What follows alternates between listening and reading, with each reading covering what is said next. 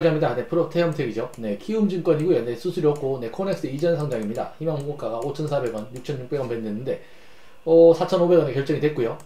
네, 실망 매물이 초래해서 코넥스 가격이 14%, 15% 가까이 떨어졌죠. 뭐, 8,445원까지 오른 적이 있었는데, 어, 계속 흘러내리죠. 코넥스 이전 상장이 최근에 안 좋은 모습을 좀 보이다 보니까, 기대감에 올랐던 걸 다 반납하고, 네, 금액은 5,400원, 6,600원, 4,500원에 결정이 됐고요. 네, 모집 총액이 72억입니다.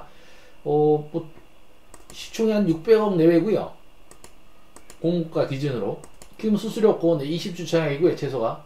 네, 코넥스 이전 산장은, 네, 유통 가능 물량이 굉장히 높죠. 네, 절반 이상이 유통 가능 물량이고, 수요 측 경쟁률은, 네, 94 나왔고요.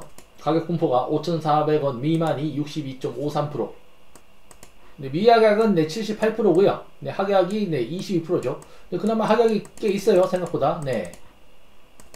네, 회사는 바이오 관련 업체고요. 제품을 보면은 뭐 알레르기 진단, 현장 진단, 감염성 면역 분단 진단, 진단 진단 진단, 암 진단 등등등등. 네.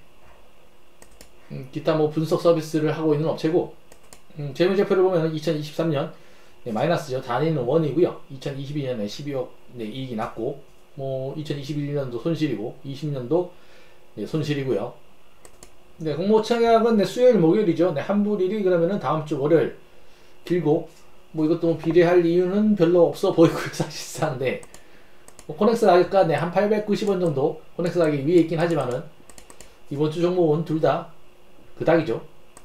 보통 사 같으면은 공모가 밴드 하단 아래쪽에서 이렇게 결정이 되면은 네 과감하게 베팅을 좀 하겠는데 네, 뭔가 느낌이 조금 싸해요. 네. 하단 아래쪽에서 이렇게 들어오는 경우에는 뭐 한 번 팔기에는 주겠죠. 네, 뭐 그렇다고 제가 하라는 얘기는 아니고 네, 판단은 본인이 알아서 잘 해야 될 것 같고요. 일단은 이거는 뭐 수요일 목요일 시작이기 때문에 일단은 네, 큐라, 큐라티스 먼저 생각하고 그 다음에 생각하면 되겠죠. 네, 영상이 도움이 되든 안 되든 네, 구독과 좋아요 부탁드리고요. 네, 고맙습니다.